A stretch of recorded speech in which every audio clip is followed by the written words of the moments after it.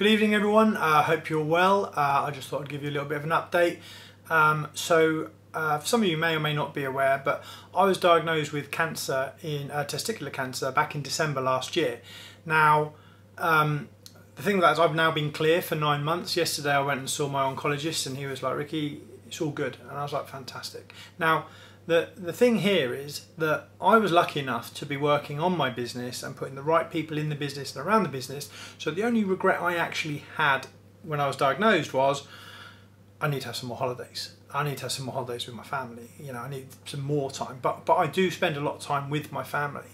And if you're working in your business and not on your business, if you was to get a, a, a, shock like that, it would be very difficult to deal with. Now, for me, 90% of recovery is positive mental attitude. You know, you go into dark places, you do all these things, but 90% of recovery is positive mental attitude.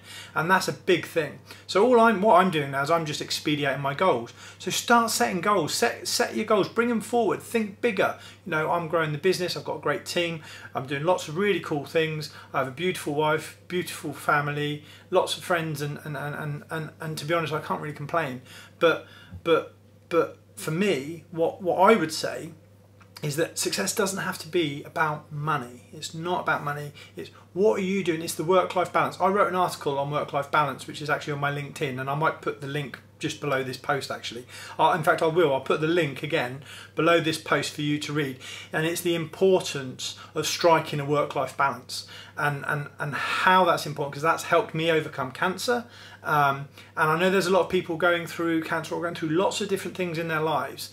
And, and all I would say is keep positive, keep a positive mental attitude change it up a little bit, you know, change change things up. Do what you love doing. Life's short. And no one put on their tombstone, I wish I worked an extra hour. And that's really important. And I say that a lot to myself. I've, I've been saying that for years. And and so for, for me, I just thought I'd share that with you that, you know, I've been free from cancer for nine months, which is pretty epic. Um, if any of you are going through anything like that or anything similar, then, you know, keep positive. It's really important to keep positive and um, and also, guys, you know, ch check yourselves. Make sure it's cool because, because, to be honest, I, I, was misdiagnosed for nine months, and I know a lot of people who have, have um, had cancer and have smashed it and doing so well now. Like big shout out to Ben. Ben, you're epic, dude.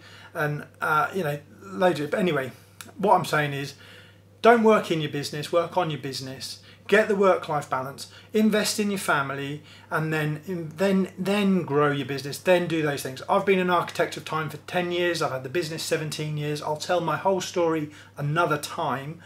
But if I hadn't put the things in place that I did ten years ago, it would have been a very different story and it would have been a lot harder. So so so think about what you're doing. Start setting your goals. Make your goals bigger. You know, make your goals much bigger off the chart bigger.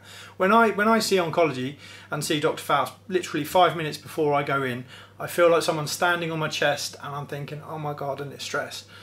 The moment he goes, Ricky, it's all clear, I'm like being injected with, with rocket fuel. I'm wanting to take on the world and smash everything. And every three months I go and see oncology. But the, the thing for me is, is I'm not going to let cancer or anything else defeat me because I've got too much to do. I've got too many things to achieve and so much I want to do. So don't talk about stuff, make it happen, yeah? Anyway, have an awesome evening all. I just thought I'd share that with you all and uh, I'll tell the full story later. But, but think about what you're doing. Lose the £10 jobs, the £100 jobs, you know, really think about what you want in life and, and make it happen. So have an awesome evening and I'll speak to you all soon. Take care. Bye-bye.